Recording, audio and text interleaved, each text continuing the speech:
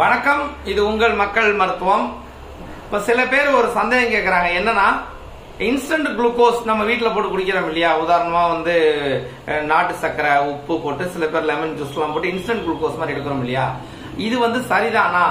இல்ல வந்து இது சில இடங்கள்ல ஏதாவது குறைக்கணும் கூட்டணும் அப்படி இருக்கான்னு கேட்குறாங்க அதுவும் தெளிவா சில பேர் என்ன கேட்குறாங்கன்னா இப்ப நாங்க இன்ஸ்டன்ட் குளுக்கோஸ்னால இது மூணையும் தான் போடுறோம். சுடு தண்ணியும் பச்சை தண்ணியும் நாங்க ஒரே மாதிரி தான் மிக்ஸ் பண்றோம் அப்படின்றாங்க. அப்படி கிடையவே கிடையாது. நீங்கள் நல்லா செக் பண்ணி பார்த்தீங்கன்னா தெரியும். ஸ்போர்ட்ஸில் ரன்னிங்கில் இருக்காங்க பாருங்கள் இவங்களுக்கு நீங்கள் பயன்படுத்தும் போது பச்சை தண்ணியில் மட்டும்தான் அவங்க வந்து அந்த இன்ஸ்டன்ட் குளுக்கோஸ் பண்ணுவாங்க. தெரியுமா? அப்போ அதில் வந்து நாட்டு சக்கரை உப்பு லெமன் ஜூஸ் அந்த மாதிரி போட்டு எடுத்துக்குவாங்க. ஆனால் சுடு தண்ணியாக குளுக்கோஸ் எடுக்க யாராவது ட்ரை பண்ணால் அதில் லெமன் ஜூஸ் போடக்கூடாது. அதில் வந்து உப்பு நாட்டு சக்கரை மட்டும் தான் போடணும்.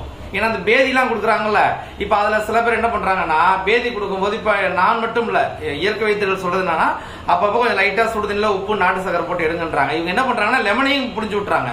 சுடுதண்ணில நீங்க லெமனை போட்டு எடுக்க கூடாது அது ரொம்ப ஆசிடா மாறிடும். அப்ப எப்ப லெமன் போடலாம்னா ஸ்போர்ட்ஸ் மாதிரி டைம்கள்ல பச்சை தண்ணி குடிக்கிறோம் பாருங்க. அந்த மாதிரி நேரங்கள் லெமன் புளிஞ்சு விட்டுக்கலாம். ஒன்றும் பிரச்சனை இல்ல. சுடுதண்ணில போடும்போது அதிகமா ஆசிடா மாறி நம்ம உடம்பு அல்கலைனா இருக்க உடம்பு வந்து ஆசிட் உடம்பா மாறிடும். அப்போ வந்து பேதி போடுற நேரத்தில் சாதாரண உப்பு நாட்டு சர்க்கரை பயன்படுத்தினாலே போதும். ஏன்னா அந்த பேதி ஆகும்போது டயர்டாகாமல் இருக்கிறதுக்கான ஒரு சின்ன வழிமுறை தான் அதனால கரெக்டாக பயன்படுத்துங்க.